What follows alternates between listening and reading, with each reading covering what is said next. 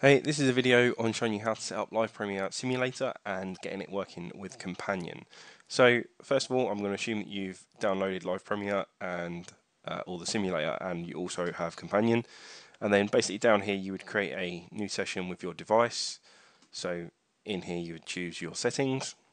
Now it's important to give it a good name, but it's also important to note this network port. So by default it's 3000 for the simulator. On an actual uh, hardware box, it would be port 80, which is normal HTTP port.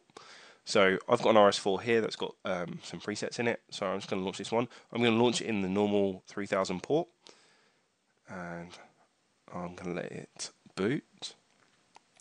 While it's waiting to uh, finish up its thing, I've also just launched command prompt and I've done an IP config. Now, I'm in a virtual machine here. I'm, I'm on a Linux host with a virtualized Windows host that's running the LivePrem simulator. Um, so my LivePrem address will actually be 192.168.122.165 and then port 3000.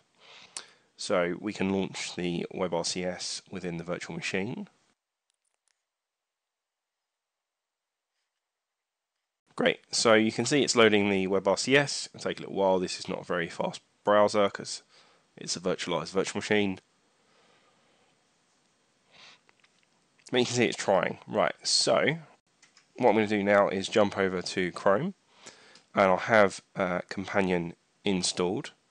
Uh, it's an old version just because I'm running it on my Linux host and I, I, just can't be bothered to update it.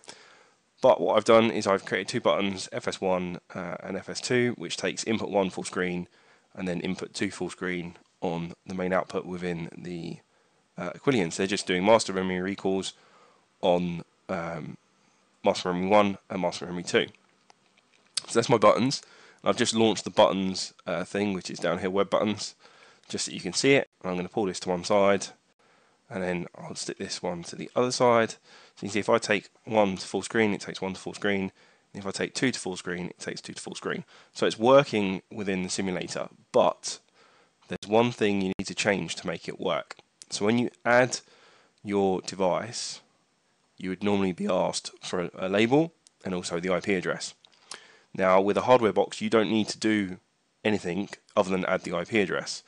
But because I'm hitting the simulator, I need the virtual IP address of the, the virtual machine, or the actual IP address of the virtualized machine, which for me is 192.168.122.165. And then if you add a colon and then port 3000, that is how you access the simulator. So you don't need to do that for a physical box, but you do need to do it if you're simulating a um, live prem instance.